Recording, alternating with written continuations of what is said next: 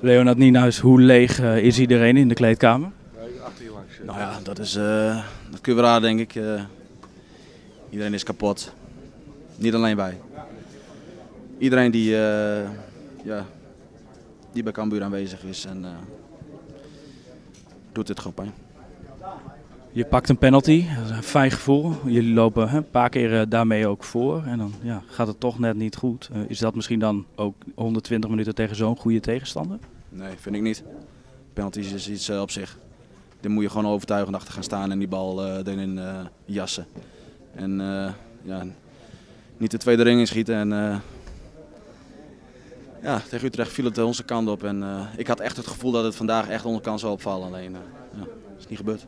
Het lijkt heel even na 90 minuten afgelopen. Wat gebeurt er dan precies?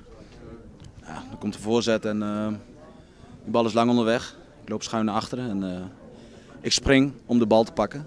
En op het moment dat ik in de lucht ben, krijg ik een duw in mijn zij. En eh, ja, dat is gewoon een overtreding. Dus en, toch nog een positief puntje.